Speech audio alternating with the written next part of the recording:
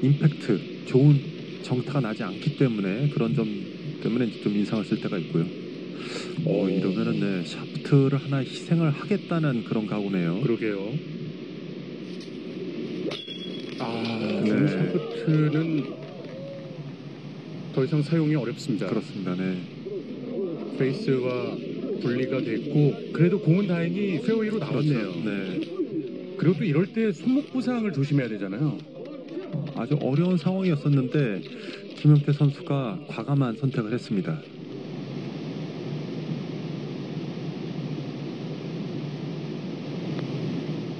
김용태 선수의 파펫 라인 좋은데요? 떨어집니다. 아 이게 또 들어가네요. 아, 이러면은 샤프트가 부러지는 걸 감안하고 플레이한 보람이 있습니다. 예. 샤프트와 지금 한 한 타에서 두 네, 타를 그렇죠. 바꿨습니다. 네.